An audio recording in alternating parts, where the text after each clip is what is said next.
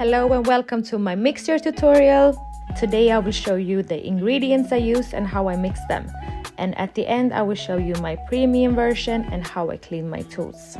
The main star ingredient is spackle or wall filler and you can also use joint compound. And don't skip this step. This is the reason why my mixes doesn't set while I'm working with it. Next up is plaster. I use molding plaster and you can also use plaster of Paris. The third is white glue. This helps with cracking since it slows down the drying process. Spackle, joint compound and plaster shrinks, shrinks while drying, which can cause cracks. And the last one is water.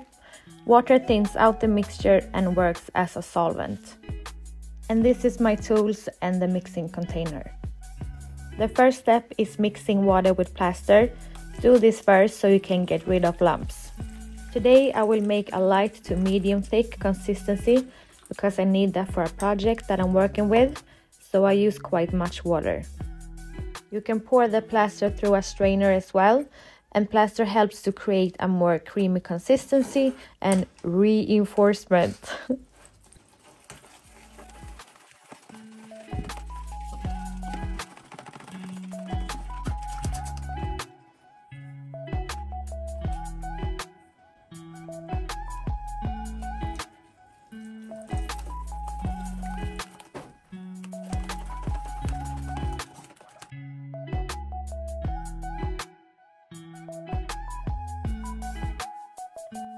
And now I'm going to add the glue.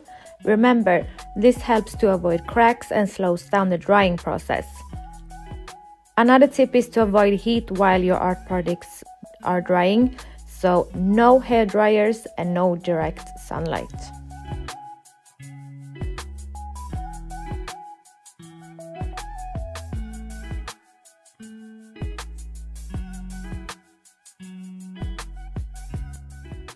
And this next step is optional. I know many other artists who use just spackle or joint compound with paint, but I have had more success with this mixture.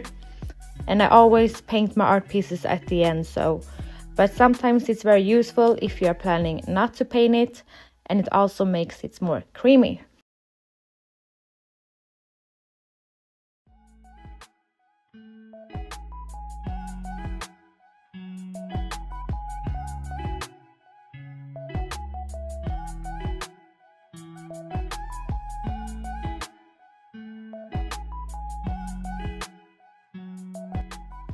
And now it's time for the main star ingredient. Oh my god. Here in Sweden, spackle is a very common thing and easy to find. I don't think I have seen joint compound here, so I have I have never tried it, but I know these two are very similar, except that joint compound shrinks shrinks more. I'm thinking about doing some research about it since my followers, especially on Instagram, is very international and post that this is a different this is a difference video since it seems to be easier for all of you to get your hands on joint compound. So if you are a joint compound uh, expert, please hit me up in the comment section.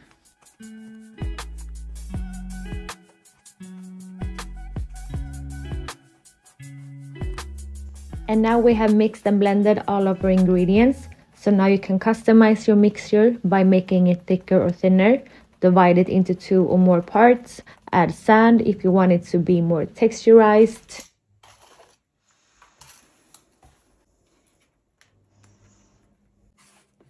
I store my mixture with an airtight lid in dark and cool places. And you can also add salt as a preservative I use my mixers so often so they don't really get bad. But if you're not going to work with it like several times a week, maybe um, create a small amount from the beginning. And look at it, we are done. And in this next clip, I will show you my, we can call it premium edition. My previous recipe is a very budget friendly one and now I will add an art supply into it. Here I used a thick gesso. This will really bump up the creaminess. I wanted my previous mixture to be more like a medium thick consistency, but here I will demonstrate the magic with a thick gesso.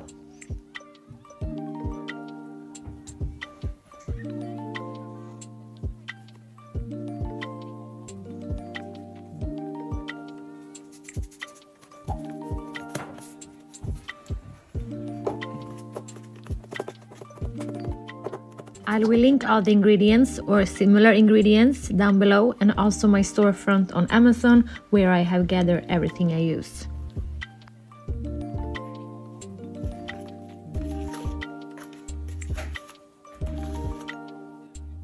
And now it's time for the boring but the necessary part to clean everything. So wipe off the side so it doesn't dry up and falls down into your mix.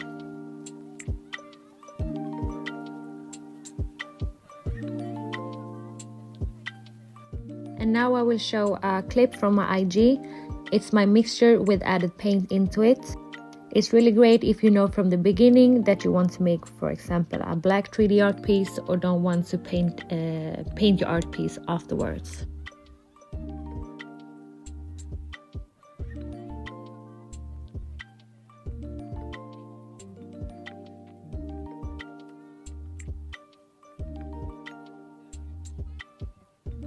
And this is how I clean my tools.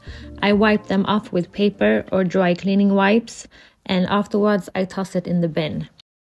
Spackle, plaster and joint compound is not as harsh as cement, but I don't recommend to flush big chunks of it into the drain. And this is the easiest way if you ask me to clean the containers. I let them air dry and then scrape it off and then tosses it. And here I already have one that has air dried. And that's it guys. I hope you enjoyed it and found it very helpful and useful. Please let me know and tag me if you try out this mixture. So thank you so much for watching. Please like and subscribe and check out my other social media platforms. Thank you.